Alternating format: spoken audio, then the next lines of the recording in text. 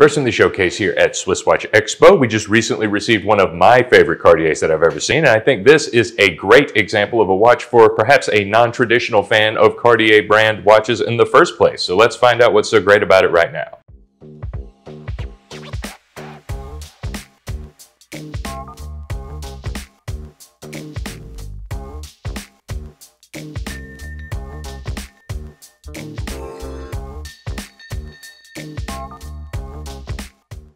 Today I'm showing you one of many of Cartier Rotondes that we've received in the past. This is far and away my favorite Cartier watch for the simple reason that there is so much variety in it. Uh, they have a ton of different sort of models, layouts, complications, and looks. And of course, I think it is a great modern looking timepiece for someone who is not a fan of very traditional type of dress watches. So that means kind of Cartier's bread and butter. Doesn't really excite me the way it does some people, but the Rotonde is a clear exception to that rule. And I'm going to show you why right now. Uh, but first, to get in a little bit of history on the Rotonde, uh, Cartier actually introduced this model in 2006. Now, around this time, you could, uh, I think this is sort of when watches started getting more modern in terms of their sizing. People started wearing much larger watches. And of course, that left Cartier in, a, in an unusual situation because they are known for their very small traditional dress watches, such as the Tank. And this goes for both the men and women's line.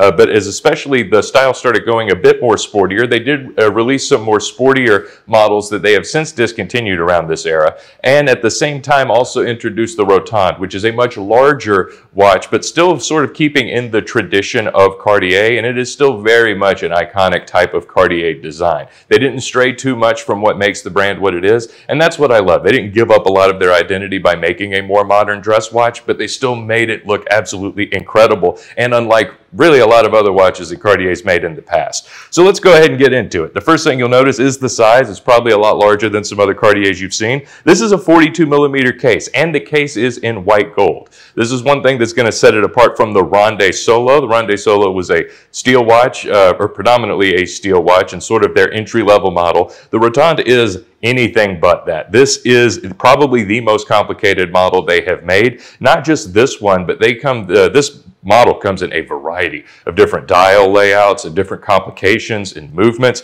a flying tourbillon, skeleton dials, perpetual calendars and things of the like. That's not what this particular watch does, but that's one of the reasons why I love the Rotonde and why fans of the top echelon of European watchmaking should be fans of it too, because this is when Cartier really flexes their muscles in terms of what they can do with a timepiece. This particular watch is gorgeous and it's got some of my favorite type of dial layouts and complications that you can see. Mainly the first thing you'll notice is an incredible eight day power reserve. So I both love that this movement can power the watch for eight days and that they also do have the indicator on the dial. It's one of my favorite things. It's, it's just so great that you're able to see exactly how much power your watch has. It's kind of one of the things that separates this from so many other watches. And I think it's just really convenient to have, uh, especially if you're someone who collects a lot of watches or has a lot of watches that you possibly alternate between wearing, which I imagine the owner of this timepiece would be that type of person. And if that's you, then you should be listening to this part. Another one of my favorite things, this might not be everyone's cup of tea, but it does have an oversized double date window here at uh, 7 o'clock. I just absolutely love an oversized date window and the fact that it has two uh, two different digits here. I just absolutely love that. And a separate seconds hand, which is what I think is so interesting, slightly off-centered. So this is not a centered seconds hand. It's also not exactly at 5 o'clock. It is barely off-centered to the you know lower right hand corner of this watch. And that's probably one of my favorite things about the Rotonde, if you don't consider the incredibly complicated movements that can come inside them, is the absolute, the layout of the watch and the use of space. Uh, the way that they absolutely layer this, this watch has so much going on, and yet it is so incredibly clear. You still get this incredible guilloche pattern that is known for all of these fancy Cartier watches, and you still get the oversized Roman numerals. So they were able to do all of this with the dial without giving up any of the brand signature that sort of make Cartier what, what it is, and it's still an incredibly easy to read watch, which is something that you do run into a lot of problems with overly complicated dials and movements.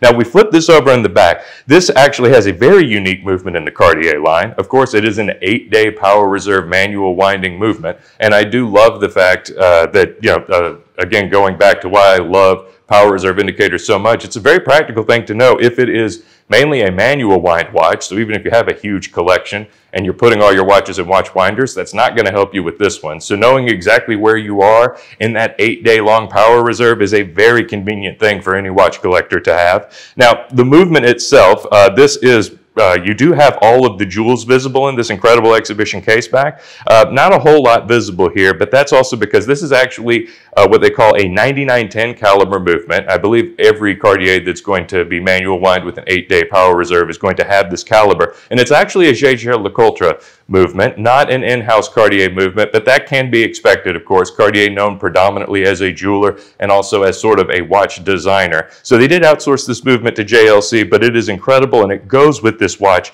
so incredibly well. This is an 18 karat gold white gold case with this beautiful exhibition case back. And of course, we also have the white uh, gold deployant as well.